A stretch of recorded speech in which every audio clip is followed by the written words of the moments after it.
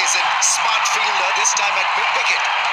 Took care of the business, and the debutant is off the mark his first wicket, and not a bad one at all. Quinton de Kock losing it. Well, this is the risk you take. We've just been talking about what a special talent he is. He scores well, he scores quickly, and then when he tries to make something which is not on, he may be that good, but uh, even the very best can end up doing that. Straight to mid wicket. He was down on his knees immediately, as if to say, Well, what have I done? There you go. But when you're looking to go over the top, it's not quite there. That could easily be the result. So it's advantage to Pakistan right now. De Kock gone for 15.